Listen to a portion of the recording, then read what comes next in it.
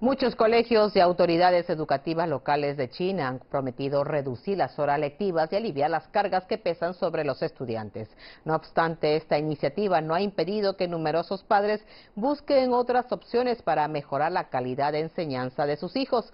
Como resultado, las clases online han ganado popularidad entre la población china. Una clase sin estudiantes, pero el profesor de inglés, Ing Yang, está ocupado igualmente. Es uno de los docentes que trabajan en la compañía Nuevo Oriente, dedicada a la enseñanza de cursos online. Los cursos online se han desarrollado muy rápido dentro de esta corporación. Necesitamos mantenernos alerta con respecto a los cambios en el mercado. He estudiado varios cursos online sobre diferentes materias como la gestión del tiempo, que me ayudó a ser más eficiente, y las capacidades financieras. Esto no es algo nuevo. Los cursos online comenzaron a ganar popularidad en 2010. Sin embargo, IN considera que la reciente mejora de la calidad de las retransmisiones en directo en China han dado un impulso a la enseñanza por Internet. Cada vez más familias aceptan este cambio. Están acostumbradas a las retransmisiones en directo de conferencias de prensa y conciertos, así que piensan, ¿por qué no? Datos oficiales muestran que el mercado de la educación online generó 194.000 millones de yuanes en 2017, lo que supone un crecimiento interanual de un 22%. Las estimaciones apuntan a que el valor de este mercado aumentará hasta los 273.000 millones de yuanes en 2019.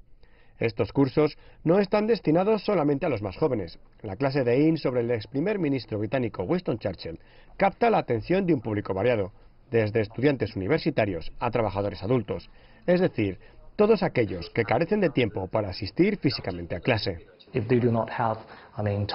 Si no tienen tiempo para asistir a clase, también pueden ver la grabación y posteriormente uh, interactuar con muchos estudiantes.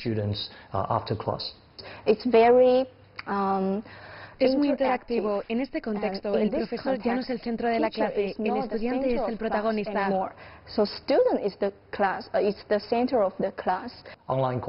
Los cursos online pueden ayudar a que muchos estudiantes de ciudades de segundo y tercer nivel disfruten de excelentes cursos en Beijing, Shanghai y Guangzhou. Los cursos online se han convertido en un negocio lucrativo, por lo que muchos aspirantes a profesores han decidido unirse a las plataformas educativas en Internet. La desaparición de las aulas físicas ahorra costes a los educadores y reduce las tasas académicas para los estudiantes. El coste por persona está disminuyendo, sin embargo el número de alumnos está aumentando. Por este motivo, muchos profesores que enseñan cursos online se han convertido en multimillonarios.